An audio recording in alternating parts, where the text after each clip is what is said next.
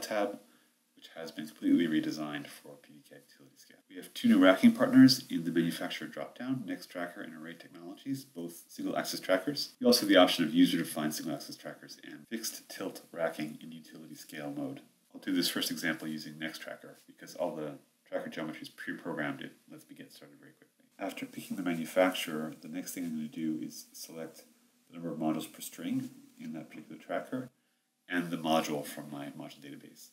And then using that and the wind speed snow load that I entered in my first tab, it'll actually look up the specific Nextracker tracker tracker to use on this, on this layout. Next I'm going to enter either the ground coverage ratio or the pitch, as well as the row spacing between trackers in the north-south direction, and then Finally, this last field tells me if I want to use three string trackers only or both